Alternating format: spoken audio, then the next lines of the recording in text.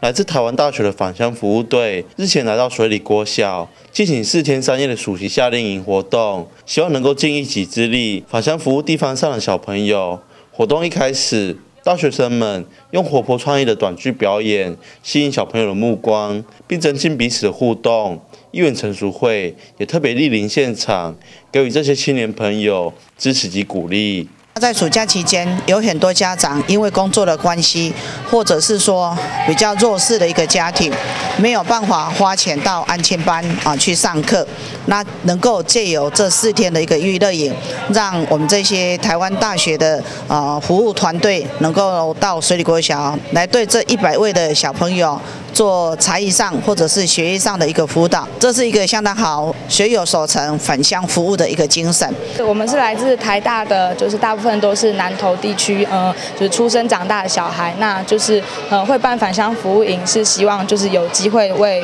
就是地方上的学弟学妹做一份。就是心力的贡献，那就是很感谢水里国小，就是愿意跟我们共襄盛举。那我们一定会就是努力把这个活动办到最好。那也谢谢就是议员的关心跟支持。水里国小校长周进科表示，感谢台大返乡服务团队能够在暑假期间返乡带领小朋友参与这次活动，同时。透过暑期夏令营，小朋友们可以向大哥哥、大姐姐学习，当做自己的楷模。对孩子而言，可以说是相当的有意义。非常感谢台湾大学啊返乡青少年的团队啊，能够回到呃水里国小。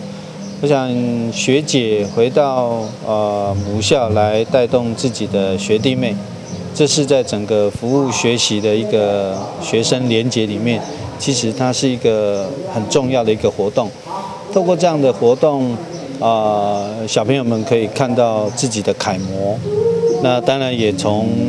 在跟学长学姐的相处当中。啊，可以感受到青少年的活力跟智慧。都每年都会就是寻找南投不同的就是国小，那就是进行评估，对，然后就是找适合的学校就跟我们进行合作，那就是希望我们把资源就是平均分配，然后让就是各地区的小朋友都有机会就是享受到这种就是娱乐营的服务。